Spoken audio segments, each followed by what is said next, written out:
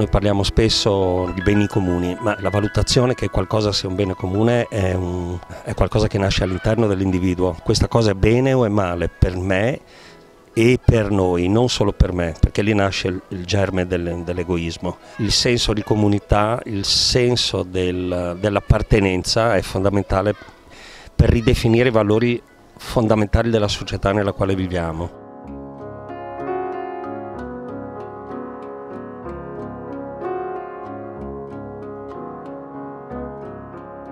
Il mio percorso eh, nasce sostanzialmente con molti anni di volontariato nelle situazioni di emarginazione sociale. Lì ho incontrato handicappati, detenuti, malati di cancro, soggetti eh, gravemente emarginati per una ragione o per l'altra e ho cercato di portare quello che un po' alla volta studiavo per imparare a stare al mondo nei corsi che frequentavo di psicologia transpersonale e quant'altro. Lì ho messo a fuoco eh, il fatto che le cose che studiavo potevano avere un'utilità ed è stata una palestra importantissima, nel senso che lì ho imparato a rapportarmi con i soggetti più diversi adattando ciò che avevo studiato alle necessità del momento. In questo momento insieme alla mia compagna sto portando eh, quello che noi chiamiamo spirito di comunità, cioè il fatto di ricostruire il senso di un'identità eh, comune.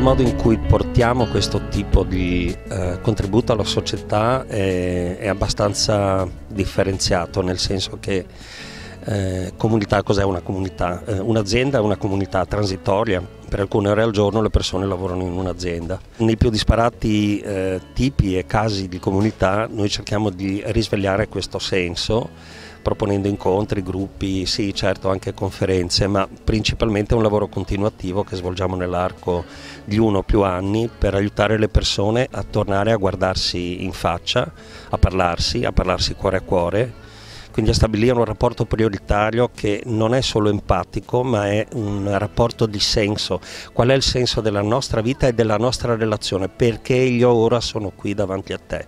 E cosa ci possiamo scambiare, cosa possiamo imparare e donare, cosa possiamo ricevere, cosa possiamo uh, costruire insieme.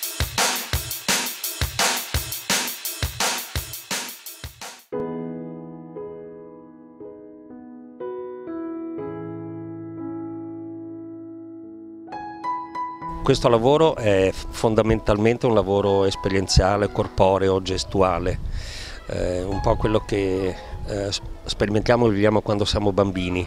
Noi quando siamo bambini conosciamo e facciamo esperienza del mondo, dell'altro da noi, eh, attraverso il corpo, non attraverso il pensiero e le parole. Entriamo nelle situazioni anima e corpo eh, la mente, intesa nel senso di razionalità, arriva per ultima. Il bambino l'esperienza la fa con tutto il corpo e se non ci mette il corpo non ci può mettere l'anima eh, ed è questo il metodo del lavoro che proponiamo un po' quello di tornare bambini e ritrovare quel tipo di innocenza che riesce a prescindere dall'interpretazione culturale del mondo. È un'esperienza totale, un rapportarsi all'altro con la profondità e l'innocenza di un bambino, di qualcuno che vede il mondo per la prima volta, vedere il mondo con gli occhi di Adamo, si direbbe, il primo giorno della creazione.